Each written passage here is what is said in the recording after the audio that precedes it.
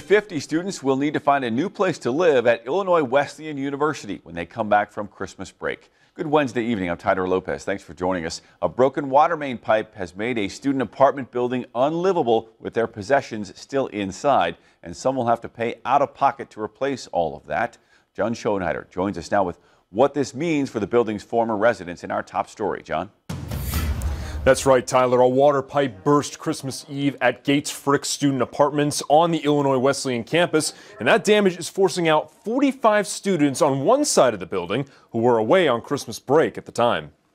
When students at Gates Frick Apartments come back from the holiday break, they're going to need a new place to stay. Flooding from a burst water pipe made the building uninhabitable. A university spokesperson issued a statement saying, quote, all residents are being offered single room housing on campus. However, the school won't reimburse the residents for their damaged belongings. If you have stuff, you should have uh, a policy to protect you, whether you're a homeowner or a renter.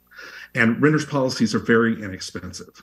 Scott Holeman with the Insurance Information Institute, a group dedicated to insurance education, says planning for protection is key for situations like this. Make sure that you keep a list of everything that's been damaged document with photos if you if you can and then save any receipts for anything that you spend including um, if you have to live someplace else like a motel or a hotel. That includes checking if students still have coverage from their family's insurance plans. It might come down to the terms of their policy that but they might want to check with their agent to see if if they're away at school, if they have any coverage under their family policy. If not, students may want to consider other options. When schools don't cover the cost, Holeman says that means taking matters into your own hands. Talk with your insurance company or your insurance agent about making sure you have the kind of protection that you need.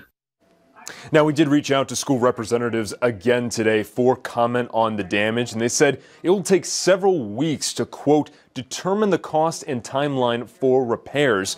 Though tomorrow we'll sit down with the director of residential life for more on the situation, and we'll keep you updated on the air and online as we learn more about that, Tyler.